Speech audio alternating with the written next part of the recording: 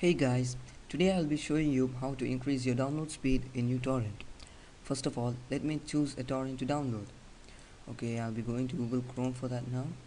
Um, I have entered Need for Speed Most Wanted 2012 just for an example. Then open all these torrent sites. Search for the site which has the highest uh, seeds on peers or something.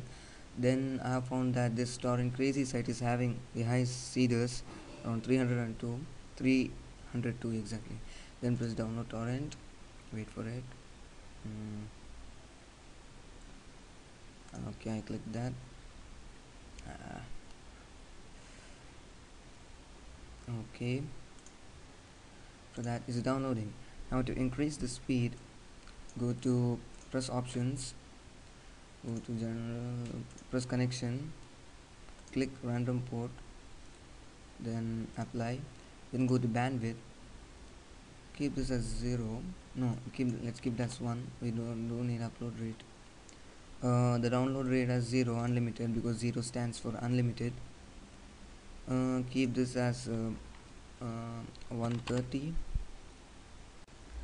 okay keep this as 130 this as 70 and this 3 click on apply. Then go to BitTorrent. Click on all these except this then plus uh, keep this enabled. Apply again. Then uh, go to advanced. Search for uh, uh, net max half open. Click that. Set the value 90 click on set. Okay it applies automatically. Click on ok. So right click on that. Go to properties. Uh, you see all these trackers here. Uh, now we are going to add some more so that we can increase the speed a little a little more. Go to chrome. Okay remember to keep this tab open uh, at first itself don't close this tab. Then click on this uh, utorrent compatible list here. Click on that.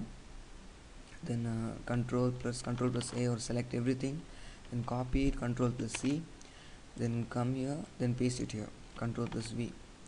Then click on ok done okay my internet is quite slow.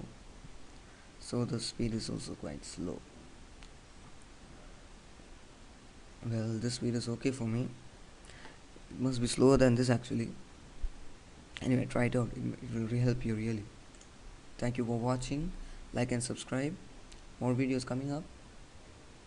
Follow me on twitter. Link in description. Thank you for watching